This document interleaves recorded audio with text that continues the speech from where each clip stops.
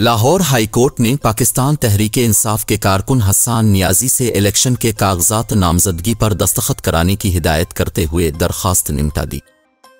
Lahore high court ने चार सफहात पर मुश्तमिल तहरीरी फैसला जारी किया।